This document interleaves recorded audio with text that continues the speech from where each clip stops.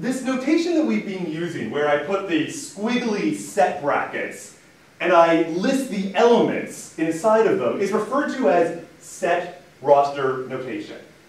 And one of the challenges that can happen with set roster notation is that we might have a, a very large number of sets. Our, our roster, if you wish, could be very large, sometimes infinite.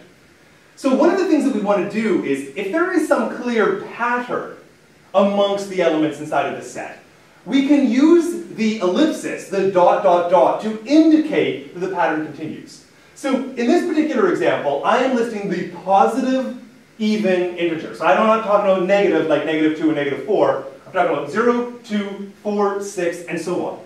Because there has been a clear pattern, and I don't want to try to write down all of the infinitely large number of positive integers, I use the dot, dot, dot to save myself a little bit of time. Uh, we can do a dot, dot, dot on both sides. For example, in this example, this is all of the even integers, not just the positive ones, all of the even integers. And in this case, they have a pattern that goes in the negative infinity direction, minus 2, minus 4, minus 6, and so on, and a pattern that goes in the positive infinity direction, 2, 4, 6, and so on. So this is going to work well, but it's only going to work well as long as the, the pattern can be clearly established. I need to be able to look at the first few elements and say, do I see a pattern? And in this case, I do. And so if I put the dot, dot, dot, the presumption is that the pattern which is evident is going to continue. Set roster notation is great, but we often like to improve and refer to something as set builder notation. And this is going to be particularly useful when the sets are complicated and that the relationships between the elements are going to be complicated. So this is the general form for my set builder notation. And the idea is that I have x, which is thought of as being a variable. It could be anything. And then I have this line, and this line here is a shorthand. It means such that.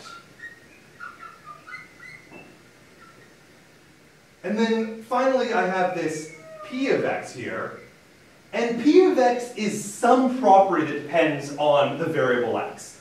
So I want to have a property, and I want it to be true.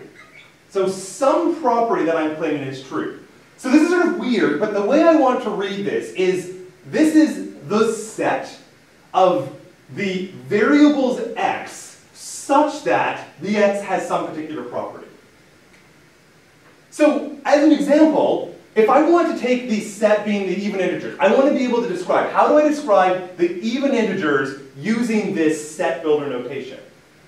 Well, I'm going to claim that this is going to be equal to the set of all different elements x. I have my variable, all different elements x, such that, now, what does it mean to be an even integer? Uh, an even integer is like 2, 4, 6, and so on. So an even integer is always two times some other integer. So what I'm going to say here is that my property is that my x is twice an integer.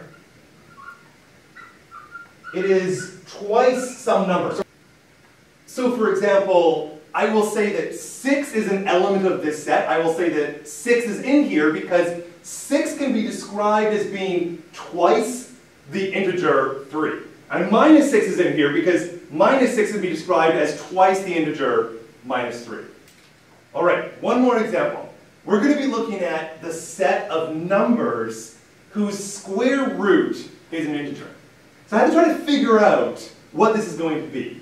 So I want to try to go, and I'm going to do it off over here.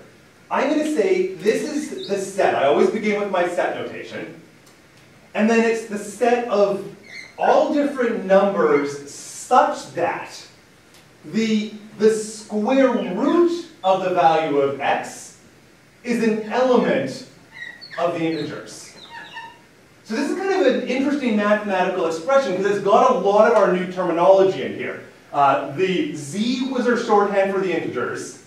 This backwards E thing is our notation for element. The vertical line stood for such that. So if I read off this expression, this is the set of numbers such that their square root is an integer. And so I think this notation translates this set that I'm describing down here.